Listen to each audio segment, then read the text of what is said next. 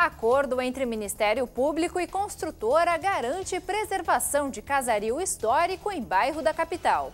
Ministério da Saúde alerta para consumo excessivo de sal pela população brasileira.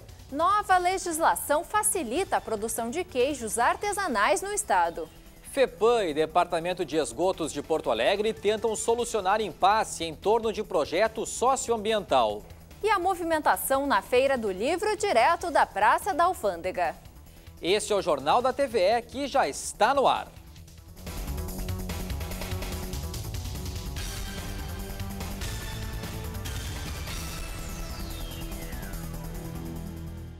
Boa noite. Boa noite. Um acordo pôs fim à briga na Justiça sobre o destino de um conjunto de casas antigas no bairro Moinhos de Vento, em Porto Alegre. O anúncio foi feito hoje na sede do Ministério Público.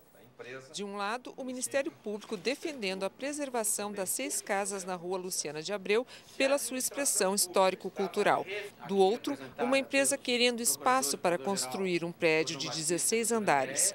Mais de uma década de justiça gaúcha e as sentenças negaram a preservação do casaril. O acordo entre as partes resolve o impasse.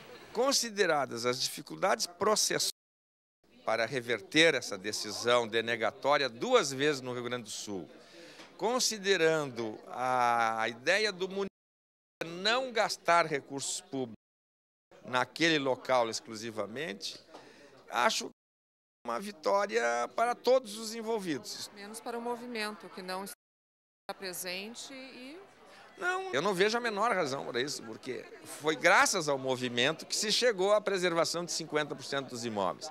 Se nós continuássemos com o projeto, 99% de possibilidade, tudo seria perdido.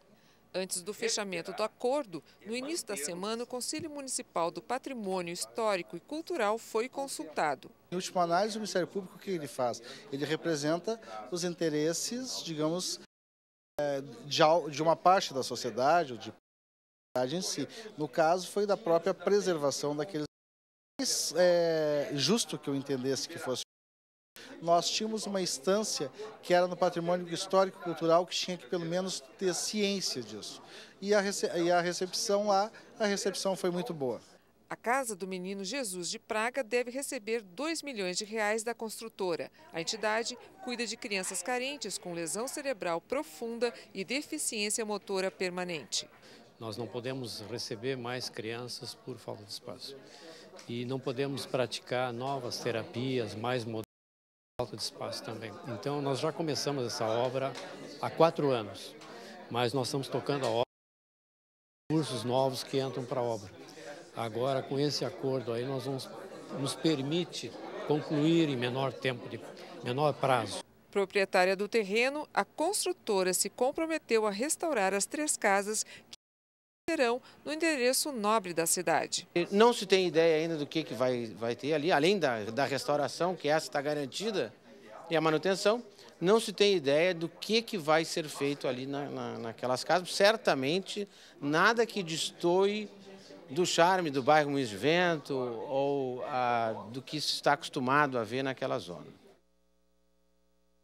Em sua página na internet, o movimento Moinhos Vive afirma que o acordo feito entre o Ministério Público e a Procuradoria-Geral do município e a empresa Goldstein é uma demonstração de profundo desrespeito à comunidade, à cultura e à história de Porto Alegre. Um protesto contra a demarcação de terras indígenas paralisou o trânsito esta manhã na ERS 126, no norte do estado.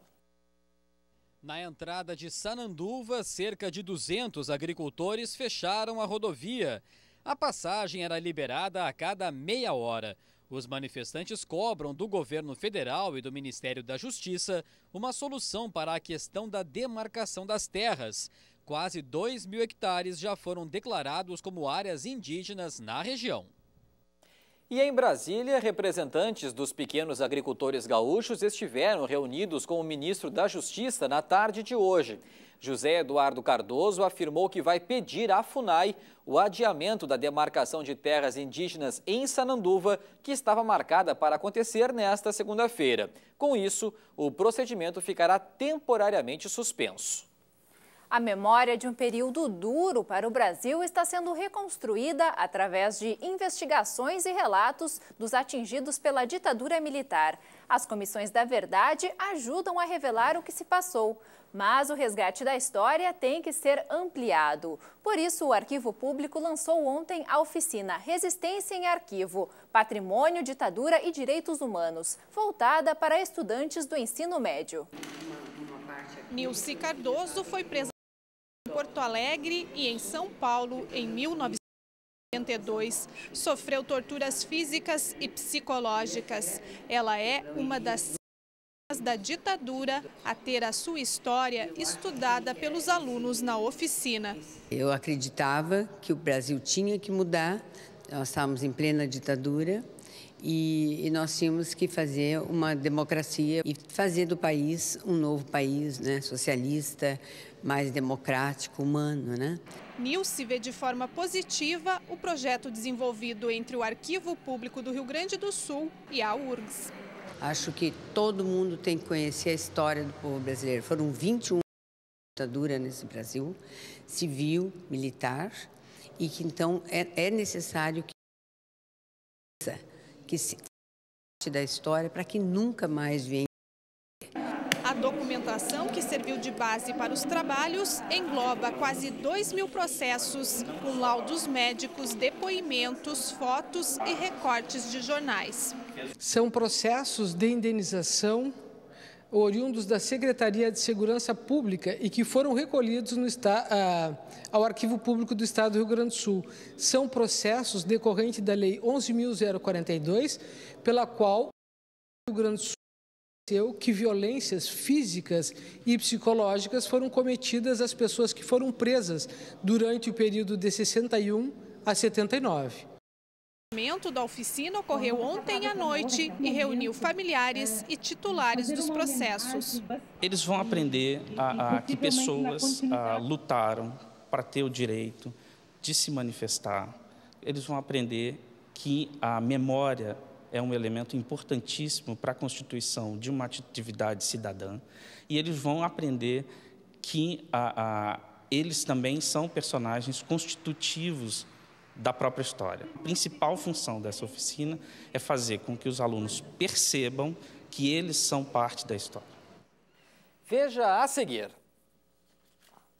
Ministério da Saúde alerta para doenças relacionadas ao consumo excessivo de sal nos alimentos.